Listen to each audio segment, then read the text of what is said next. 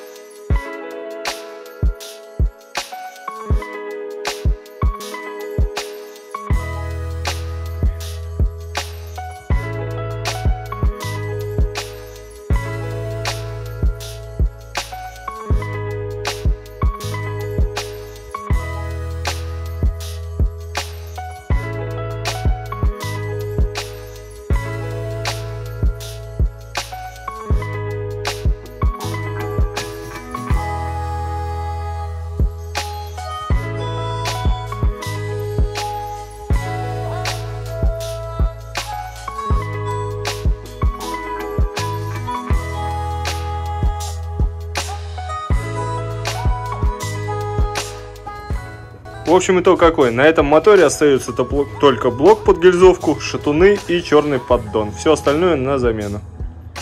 Так что выбирайте правильные места, где чинить свой мотор.